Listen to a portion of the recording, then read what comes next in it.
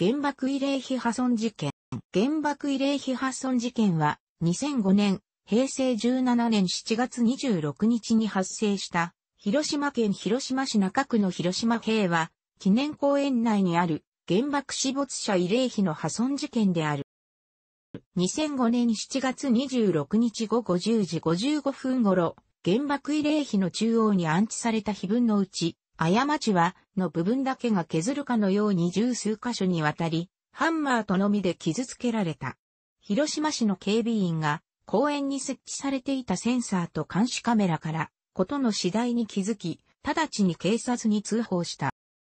通報直後の午後11時10分頃、犯人が、広島県警広島中央警察署に犯行に使った道具を持参して出頭し、監視カメラの映像から犯行が明らかであるとして、直ちに逮捕された。被疑者は、広島市西区の右翼団体、誠新宿、構成員10名の構成員で、浅南区に住む27歳の男であった。同期として、過ちを犯したのはアメリカで、慰霊碑の過ちという文が気に入らなかった。一人でやったと供述した。そのため、主語に日本人が含まれるのはおかしいとして、被爆60周年を直前に控えたこの時期に、犯行に及んだものであった。また、犯行声明文を広島県内のマスコミ各社に郵送していたことも判明した。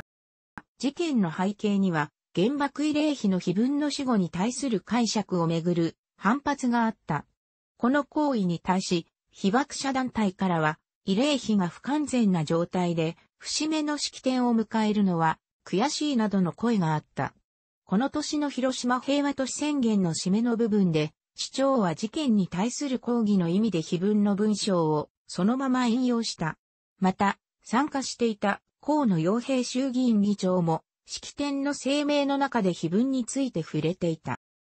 一方、全国的な報道では大きなニュースとして扱わず、被疑者を政治団体構成員としていたが、広島のマスコミ各社は、誠新宿の名を大きく報道し、厳しく批判した。広島県警が家宅捜索したが、外戦者の中から被疑者とは違う筆跡で書かれた碑文を批判する文章が押収され、被疑者の供述と同様であったため、関与が疑われたが、最終的には立件はしなかった。なお、誠新宿は、現在もこの行為が正当なものであるとの見解を示している。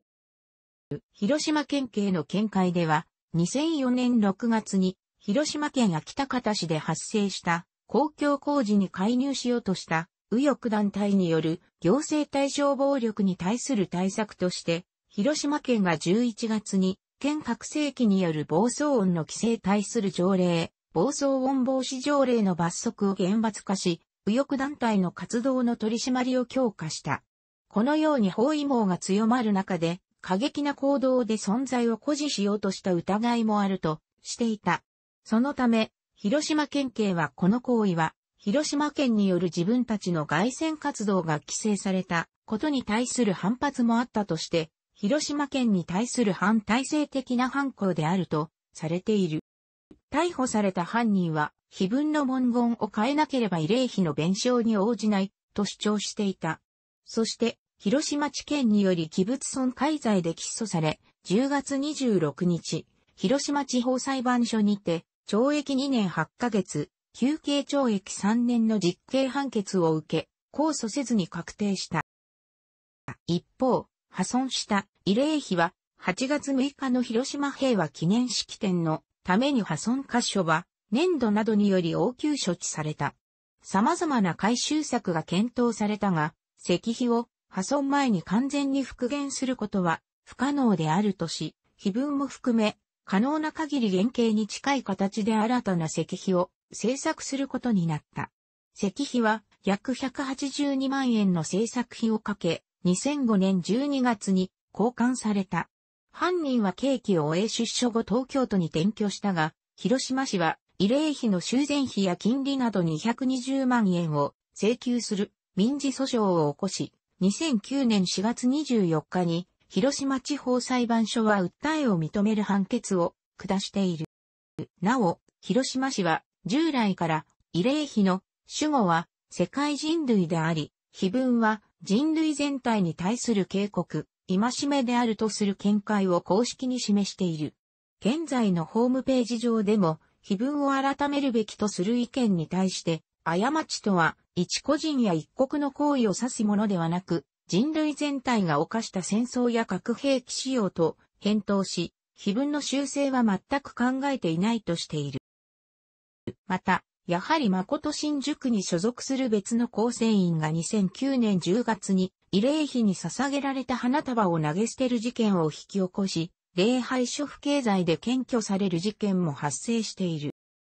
同じ平和記念公園にある全村舗労働組合被爆20周年記念碑、1965年建立が1989年7月に台座だけを残し石碑部分だけが持ち去られ、広島刑務所脇にあった空き地に放置される事件が発生している。この事件では、犯行声明文が広島市役所記者クラブに送られ、碑文の、なぜあの日はあったなぜ今も続くを、天皇制と資本主義に対する批判であるとして犯行に及んだとしていた。この事件の実行犯として、平和運動に批判的であった大日本愛国党、広島支部長、当時49歳が、器物損壊で検挙されている。